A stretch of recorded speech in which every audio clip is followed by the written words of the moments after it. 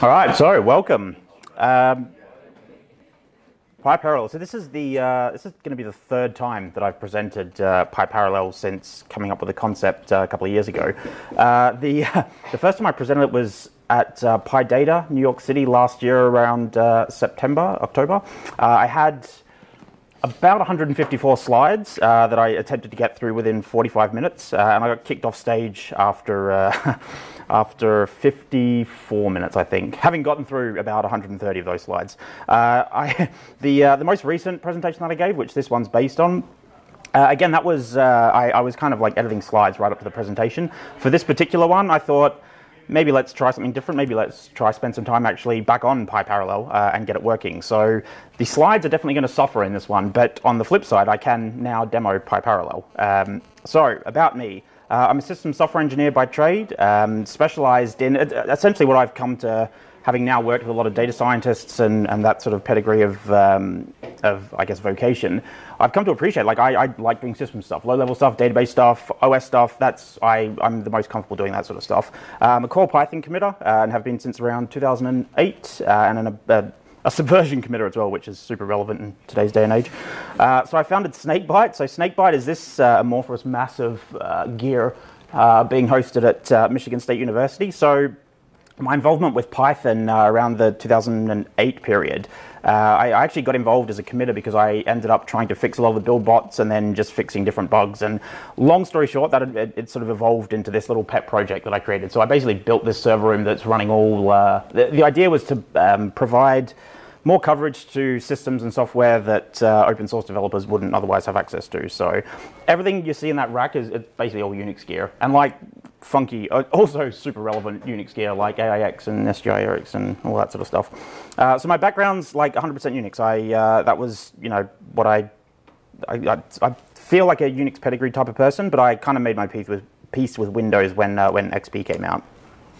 So what is PyParallel?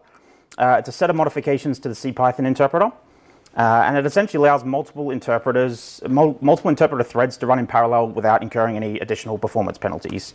Uh, so it solves the GIL problem without actually having to remove the GIL. Uh, and now for some contention stages. Uh, so th the problem isn't actually the GIL at all of these problems. The problem is that you, you really, okay, so I have this problem. I either want to like serve as many clients as I can with the least amount of hardware, or I've got like a lot of data to process and I want to do it um, in the shortest amount of time. The actual problem is that I want to exploit my hardware as efficiently as I can uh, with a reasonable amount of development effort. So, you know, you can always go down into C and C++, but I, I kind of like slumming around in Python. Uh, and it would be nice if I didn't have to pay the cost of uh, being limited to one core. Um, so it did start as a proof of concept. I, uh, I had an offline email thread with Guido where uh, I actually did a, uh, if, you, if you Google for um, the word pep async, there's a pep async.txt in the, the HD Python repo that was just a crazy like rambling of what I thought PyParallel would be before I even had the word PyParallel, uh, before I'd even like really gotten into the details of the CPython interpreter. Uh, and I remember sending that to Guido, and uh, he, he, rightly sort of came back and he's like, I don't know if you've stopped taking your medication or you've started taking new medication, uh, but like you're just what like what do you want? So it's interesting, and that was like if you're gonna be motivated to like do something, it's when Guido says you can't. Uh, so yeah, it started as a proof of concept. Uh, and I mean, it took like it was it wasn't wasn't easy work. Uh, it took uh, about three months of working on it full time. Uh, the the actual concept though, it, uh, it, it, it became apparent that it was going to work out within the first week or two, uh, and then there's just a lot of you know refining since then.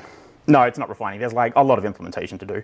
Um, but I am, I'm like, I'm, especially these past, having logged about 50 hours on it in the past three days, uh, I really am convinced that this is like the best way for, for Python to stay relevant within the next 20 years. Uh, so there's, I want to use this quote. There's, there's this, there was this epic Reddit uh, post to, to, game dev, I guess. Uh, describe what you're developing for each console uh, you've ever developed was like. And there was this epic uh, reply that I, I won't read the details, but the thing that part this, that always stuck out to me when I read this was everything. so he's talking about the development of the PS2 and software, doing software development for the PS2, um, and everything requires black backflips through invisible blades of segfault, which I, it's always stuck with me, uh, and I kind of feel like that's PyParallel the early days. Like considering what I was trying to do and have all these threads run in a essentially a non-thread safe interpreter. Uh, that being said, that is still applicable. 17th of August, so today, that is still it's, it's still a lot of backfold. Uh, the, the seg faults that I get now are because of my code, not because of fundamental problems in the concept. So I am, it is, you know, it, it's improving. Uh, so the motivation behind PyParallel. So what pro problem was I trying to solve? Uh, and it's essential to sort of understand how PyParallel, like where all this comes from, because the uh, there's a lot of existing ways of approaching this solution that uh, I, I, don't think adequately are actually trying to solve the problem. So the compute options for parallel, okay, so I can't, you know, the GIL prevents me from just using the like raw threads, so I've got to do on separate Python processes, and that's just clunky and kind of annoying. Uh, concurrency options, when you're dealing with um, like I.O. and network bound stuff, you've got one thread per client, blocking I.O. models. Uh, it all tends to be single threaded with an event loop and a multiplexing system. Uh, the problem is, like, what if I'm IO bound and I'm compute bound? So, uh, like, I'm a consultant, so I spend work, uh, like, I spend my day job uh, on client sides dealing with like lots of data and, and, a lot of computation to do. So I've got a lot of uh, computationally bound work to do against these like terabytes and petabytes of data. And I would prefer to do it in Python because I'm more um, productive like that. So, or you know, I want to serve like tens of thousands of network clients, which would be I/O driven, with non-trivial computation for each incoming request. Uh, so you, you have the switch between being I/O bound from a latency perspective, um, or and then you know going to compute bound and then I/O bound again, uh, or servicing few clients but providing the, the ultra low latency. Um, so contemporary data center hardware. I've got I, we've got servers at work. The the base sort of issue for our lab servers is 128 cores and uh, half a terabyte of RAM. Uh, they've got quad 10 gig Ethernet NICs coming up. Uh, SSDs in Fusion IO style is just ridiculous. You can get uh, like gigabytes per second, uh, right? And basically, you, you're oh, you're breaking the. Dun, dun, dun. Maybe I should stop whacking that.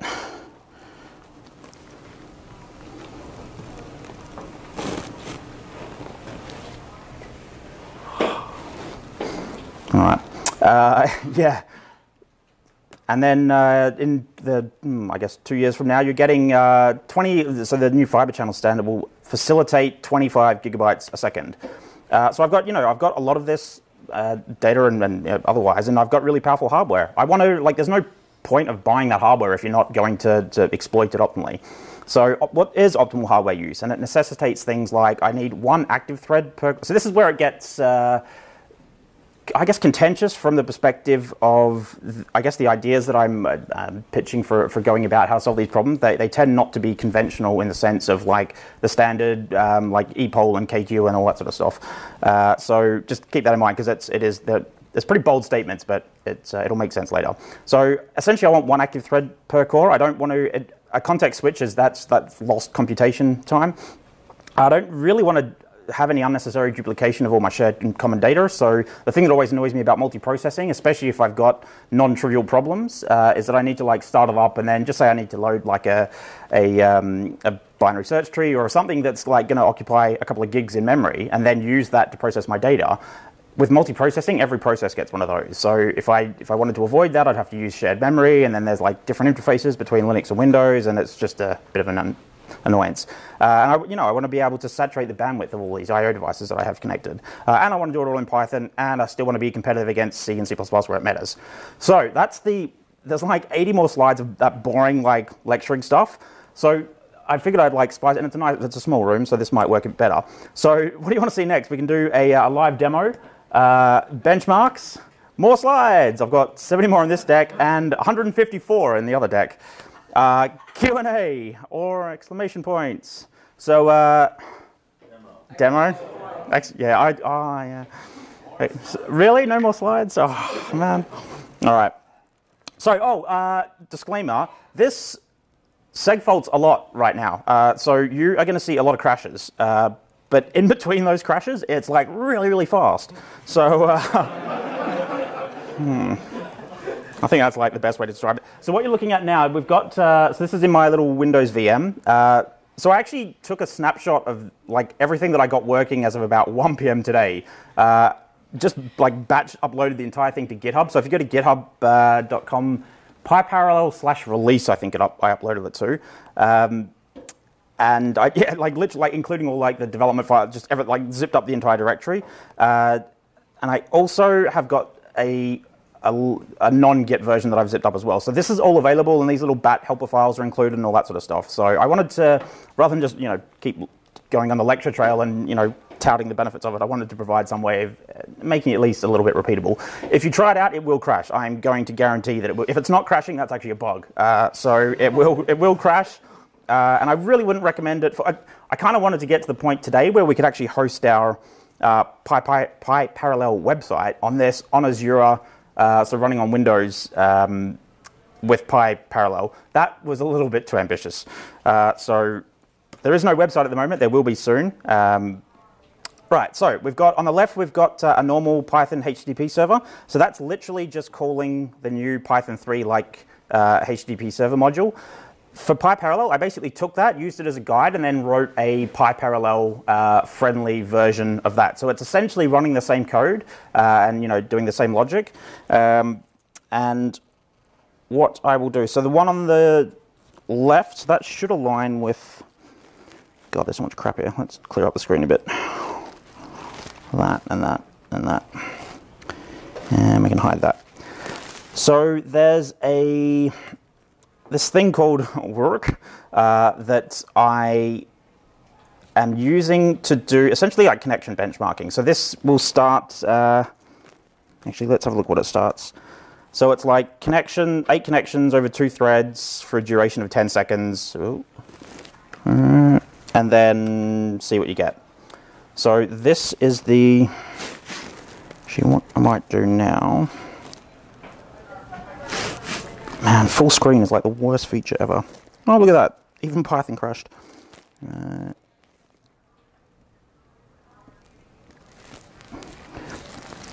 that's fine. That was that was Python, not mine. So Python, if I considering I've crashed like 80 times, I, I think the normal Python gets one. Oh. Uh,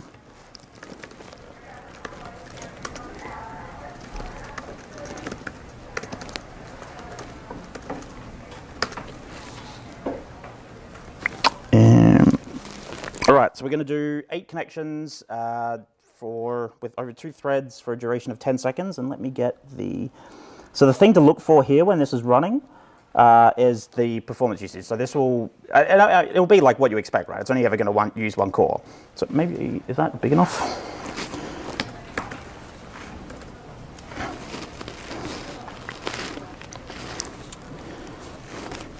So it did uh, how to interpret this. So I've only, I've like used this uh, tool for like a day or two, so uh, I'm not intimately familiar with all the ins and outs. Uh, but it is showing the benefits of PyParallel, so I'm sticking with it for now. So essentially, what we're looking at here, latency-wise, it took uh, on average 4.93 milliseconds to return to these uh, connections. Uh, all up, I did 10,000 connections at, a rate of like a, bit over a thousand, and I did 6.92 megs.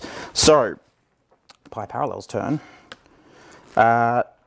And you're about to see some imminent crashes because it's, yeah. I, just, I know why it's crashing, I just haven't had the time to fix it, if that's any consolation. Uh, that just changed my font size back. All right, so port-wise, this is the, I guess I should probably use the same. 8, 2, and 80. All right, so that one's ready to run. This will should abort. Yes, abort. And then apparently if you run it again, it doesn't abort, which is uh, non-deterministic aborting, which is pretty cool. Um, so, yeah, it, yeah. So, so essentially, we're for this 10-second thing, we're using all the cores, and we've like essentially maximized our underlying hardware. Uh, now the results, obviously that wouldn't be much point if there wasn't any good to it. So you can see, okay, so the average latency is far less, so compared to, well, far less. Well, I guess at that rate it still is like a good couple of hundred percent. Mm. Yeah, so it's under half the latency. Uh, the standard deviation's a lot better. So the maximum on this one, oh, no, uh, this varies a lot. uh, the but yeah, it did like 3,200 instead of 1,000 requests a second. Um, that, uh, so I was developing this, um, I think there's also a limitation here on like the fact that I'm doing it on my two VMs essentially uh, or one, one physical and one virtual. Uh, when I um, played around with this at home, what I found really interesting was that, uh, so I had a couple of servers actually hit the box at the same time during the duration. One of the, the wrk things, so running against the Python one and then running against my one, when it was running against the Python one, Python's ability to um, reliably service those requests uh, fairly It was uh, severely diminished across the, the, course of the run. So the this one, it's like the, the architecture of it is it's like a, thankfully it's showing that it's you know it, the, this design decisions were kind of paying off. So that's a uh, that is look at all these imports. Abort again. Um, oh, that was a good one. Whoa, look at that. so these are all known.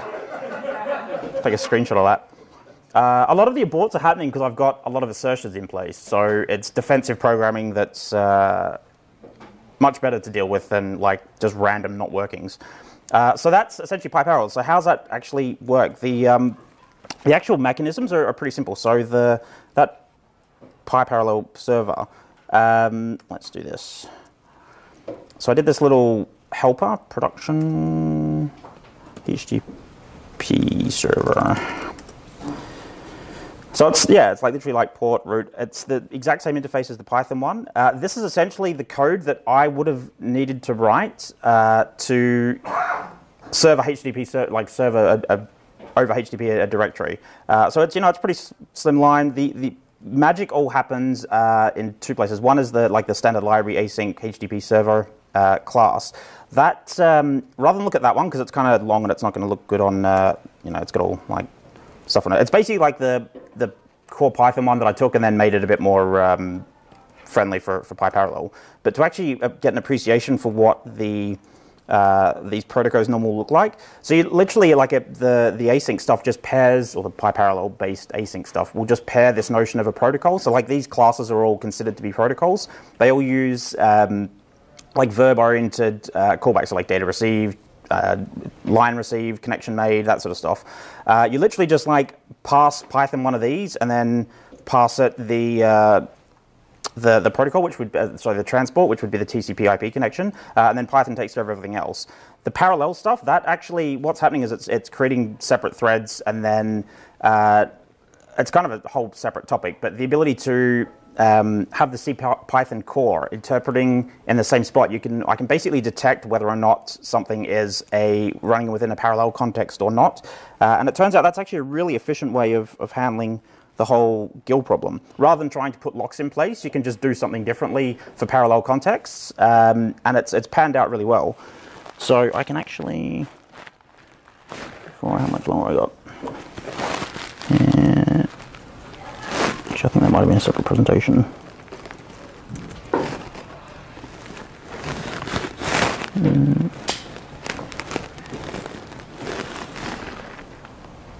PyParallel is it all it's cracked up to be. That was the first working title, but I was pretty happy with the progress the past couple of days, so it got a new title.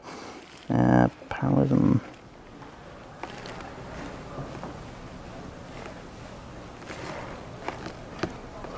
Ah. So, Here we are.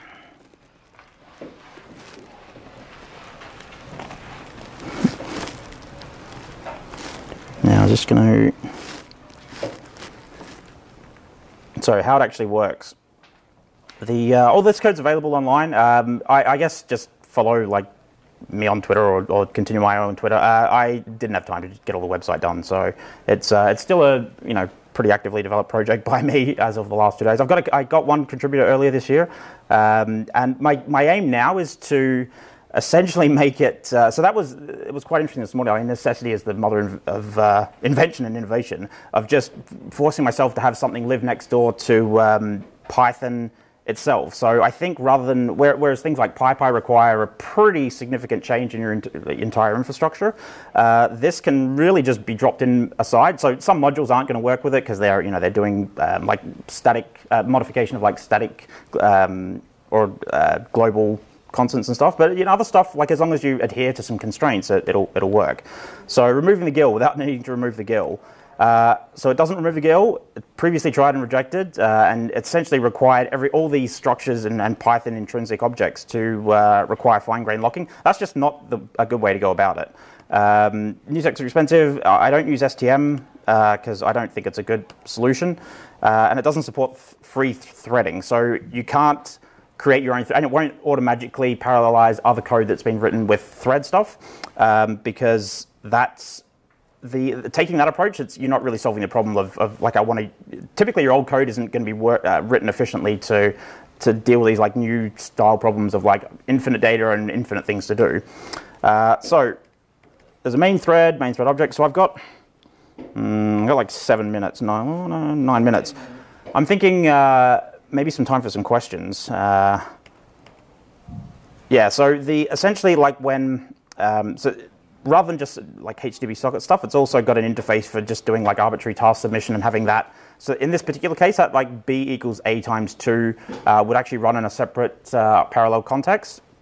The the work that's done there, so it becomes tricky when you've got things like uh, like if you tried to mutate a main thread object uh, from within a parallel context, that's where things get kind of tricky. So I have it's a huge topic to cover, and it's probably not uh, suitable for even trying to cover within uh, eight minutes. But uh, I have thought about it, and I've come up with a good long-term solution that requires um, essentially some changes to the backend Python interpreter to track the type of uh, memory allocations that is, uh, is, done. So for, for any given pointer, we can tell uh, where it was allocated. Um, in the short term, just don't write mutate main thread stuff. There's, I, I, do provide a couple of facilities for getting computation results that are done in parallel back to the main thread.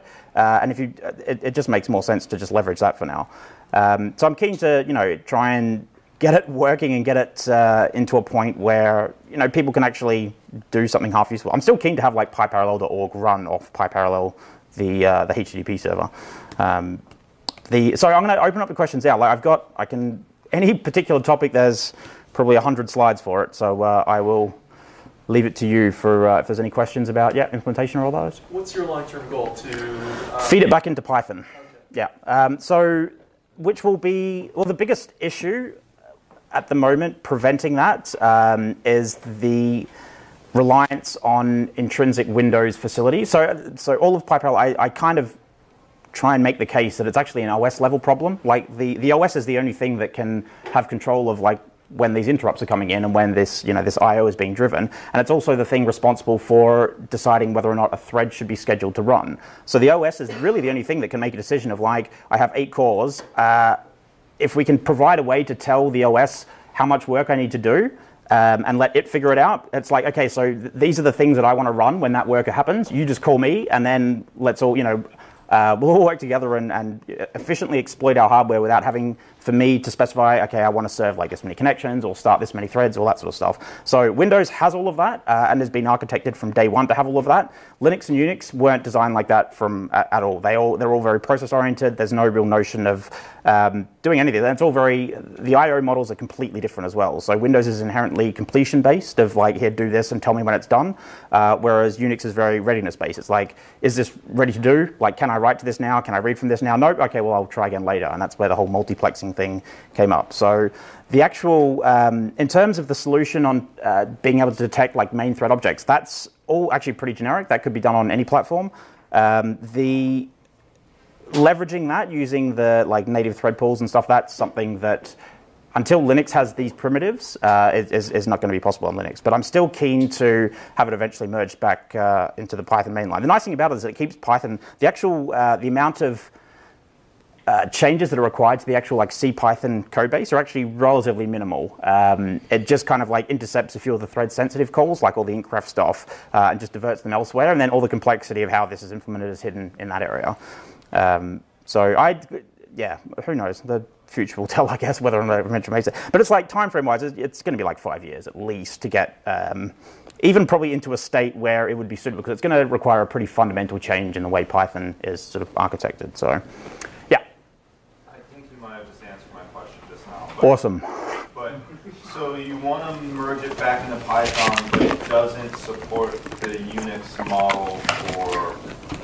The, so to do the same thing on Unix, you would need to because Unix doesn't have the same primitives for um, uh, essentially managing all of that. You'd need to like write your own thread pools, you'd need to manage your own concurrency levels and make sure, or like make an attempt to ensure that, okay, I've only got eight cores, really I should only be scheduling eight threads. That just, that model just really is, isn't particularly easy to implement on Unix. They don't have the IO primitives to, to facilitate doing that. So that's one side of it. The actual side of like, once I'm in this parallel thread, uh, that's all pretty platform independent. Like there's no like system, there's no Windows um, facilities that are required for that. So the it's it, will be interesting to see what it comes like if if my argument of like okay the these pro, like you, you don't actually just want to remove the GIL you want to like solve your problem your problem is like okay I need to either like read network requests really fast or I need I've got big files that I want to read quickly uh, that sort of necessitates an IO oriented um, model where you're switching you know efficiently between okay I need to like write huge amounts of data and then process it in parallel and then write huge amounts of data um, so yeah I mean it's a we'll see see what happens who knows Any other questions? Yeah. How does it compare to stackless Python? Uh, so really interestingly, so I, I really like Christian Tismer. I had uh, a really good session with him when I first presented this to the Python developers uh, the year before last at uh, the, the Python conference in Santa Clara. So his was there's actually a lot of similarity between how he's implemented the his ability to like remove the dependency on having the C Python stack uh, is kind of key. The, the difference with mine is that I also like leverage the native Windows facilities to because um, it's, it's like there's like three lines of system call stuff where I can like magically get uh, a thread pool and then have Windows automatically call this exact thing when this like IO thing completes. And then once I'm in there, I can use just general thread awareness to figure out, okay, am I parallel thread? What's all my like thread local specific stuff? So there are there are a lot of similarities. There's and the way that I've implemented some of the uh, the heap snapshotting and rollbacking facilities, it would certainly be possible to uh, do this type of stackless thing where you just kind of like ping pong between things endlessly in something that would otherwise like kill up your stack. So I haven't, I haven't I've never had to use stackless. I do know that there are certain users of it, um, but I, yeah, I mean it's, it's, a potential. So I do like the idea that. Um, so stackless was a, a, a an ambitious project that there's a lot of similarities between what we're actually trying to do because it's going to be like a fundamental change to the uh, to the interpreter. So I'd personally be banking on this because it's even if it requires like slightly different changes to your code, like you need to like either like rewrite new code or change your libraries to to be you know play nicely with PyParallel. If the end result is that is that you can exploit all of your cores, then that's like that's going to motivate me to like at least use Python 3, uh, which is yeah, if we get that, it's you know a good start. Uh, so this, all these slides are speakerdeck.com um, slash Trent would be the place to go for those. That is not a good size view. Let's watch Trent mess around in PowerPoint. Yeah, so speakerdeck.com Trent. So that's the, the 154 one that explains the uh, the details is, is on SpeakerDeck as well. Um, this one that I did previously isn't yet. Any other questions? One minute ago. Man, I'll never finish a talk early.